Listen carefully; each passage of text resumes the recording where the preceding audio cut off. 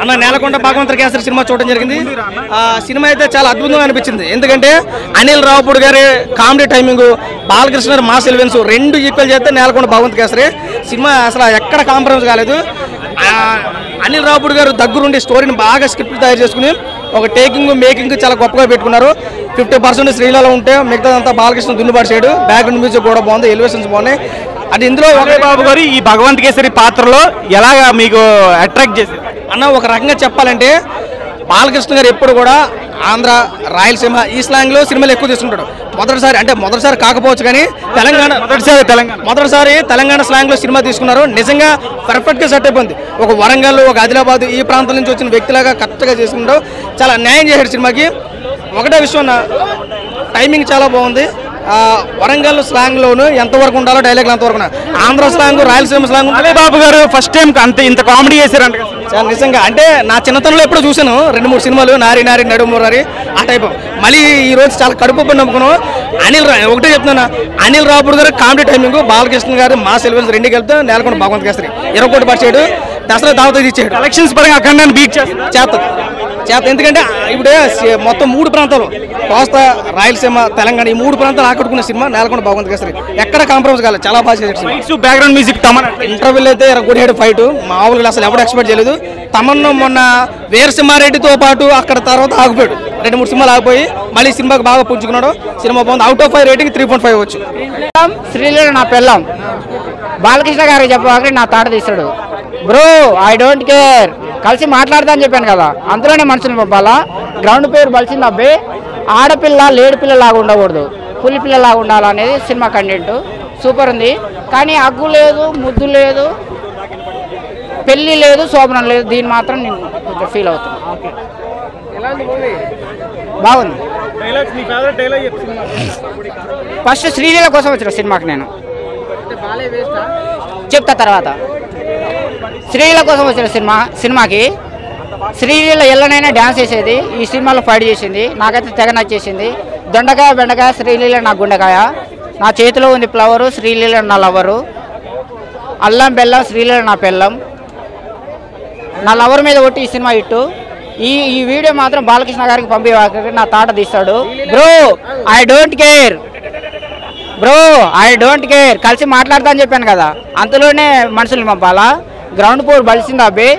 మా నాన్న ఎప్పుడు ఒక మాట చెప్పేవాడు. ఆకలేయవానికి అన్నం పెట్టాలి ఆపదలో ఉన్నాన్ని ఆదుకోవాలనేది. ఆడపిల్ల లేడి పిల్లలాగా ఉండొద్దు పులి పిల్లలాగా ఉండాలనేది సినిమా కంటెంట్ డైర- డైరెక్టరు కామెడీ డైరెక్టర్ కదా? కామెడీ డైరెక్టర్ కదా? కామెడీ సినిమా తీసాడు అనుకున్నాం కానీ మంచి సినిమా తీశాడు. మ్యూజిక్ అయితే పిచ్చ పిచ్చగా ఉంది. ఇక బాలయ్య కామెడీ చేశాడా? కజాల్ని పెట్టారు కానీ వేస్ట్. కజాల్ గజ్ గజాలనా? గ- హీరోయిన్ పెట్టారు. గజాల ఎవరు? కాజల్. హీరోయిన్ పెట్టారు కానీ అంత పెద్ద హీరోకి ఒక అగ్గు లేదు ఒక ముద్దు లేదు ఒక పెళ్ళి లేదు ఒక శోభనం లేదు. ఫ్యాన్గా ఒక నేను ఫీల్ అవుతున్నా నేను. నేను చాలా ఫీల్ అవుతున్నా. ఏం జరగలేదు? చీకటి ఉంటేనే వెళ్తూరుకి ఇల్వా. ఆ. చీకటి లేకపోతే వెళ్తూరు ఎందుకు? తెలంగాణ స్లాంగ్లో మొదటిసారిగా బాలయ్య. తెలంగాణ ఏందనా నీ ఒరిస్సా స్లాంగ్ అవ్వాలా బీహార్ స్లాంగ్ అవ్వాలా బాలయ్య దిగిందంటే అంతే. గ్రౌండ్ మొత్తం ఆయన వైపు తిప్పుకుంటాడు అనమాట గ్రౌండ్లో పదకొండు ప్లేయర్లు ఉంటాడు. కానీ బాలయ్య దిగితే మొత్తం ఒకటే ప్లేయర్ అనమాట అలా ఉంటది. అసలు గుద్దితే సౌండ్ గుంటూరు దాకా వినపడుతుంది అనమాట అలా ఉంది. జై బాలయ్య ఇది స్టాంపు. భగవంత్ కేసరి ఇది ర్యాంప్ అనమాట ర్యాంప్ మొత్తం డైలాగ్స్.